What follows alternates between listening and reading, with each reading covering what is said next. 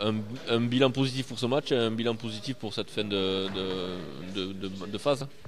Oui, vous êtes gentil, on fait un bilan positif sur euh, les trois derniers matchs, tout à fait. Après, on, a rattrapé juste euh, les points perdus au début, parce qu'il faut oublier qu'on a eu un début de saison compliqué, donc il y a des points à prendre, il fallait en prendre. Et je crois que ce soir, on a quand même perdu un point, ou même si Strasbourg est une très belle équipe et était sur une, sur une dynamique positive, nous, je pense que ce soir, on a manqué un peu d'envie pour aller chercher ce, point supplémentaire parce qu'il nous tendait les bras, 3 essais 1 à 20 minutes de la fin. Je crois que je suis déçu un peu de l'équipe parce qu'on n'a pas pris ce cinquième point et si on veut remonter un Pro 2, il y a tous les points qui sont importants. On a laissé passer en route et je crois que celui-là, il nous tendait les bras, on l'a pas pris.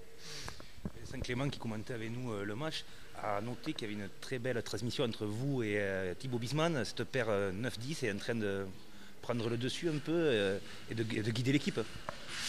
Je ne sais pas si on prend le dessus ou pas, mais euh, que ce soit Laurent Magnaral ou Ben Chiraminati, ils ont fait des très bons matchs aussi par le passé.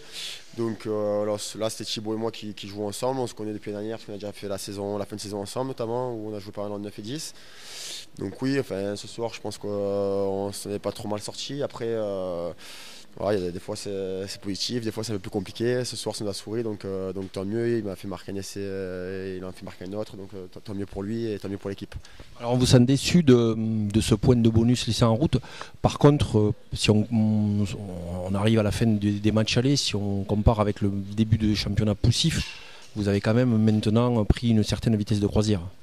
Oui, c'est sûr. Après, il faut pas, on a changé le staff, on a changé pas mal de joueurs malgré tout. Et je crois qu'il y avait euh, un temps d'adaptation à, cette fédérale 1 qu'on ne connaissait pas pour la plupart, qu'on connaît pas. Et c'est peut-être ça qui a fait euh, qu'on a mis du temps à s'élancer. Maintenant, voilà, enfin, on a pris du retard, il ne faut pas l'oublier, que, que par exemple Bourg-en-Bresse va recevoir 4 matchs affilés, que nous, bah, on va se déplacer 3 fois. Donc euh, aujourd'hui, sur Bourg-en-Bresse, s'ils si, battent Chambéry demain, ils seront à 2 points derrière. Et donc, au lieu d'être à 3 points, bah, ils sont qu'à 2 points. Donc, j'espère qu'on va réussir à battre Chambéry à domicile, qui est un match très compliqué. Et ensuite, il va falloir aussi encore les gagner à l'extérieur, parce que, comme je vous l'ai déjà dit, on a, on a, des points en retard et il faut, il faut vite rattraper pour, pour essayer d'être le mieux placé dans cette poule. Merci.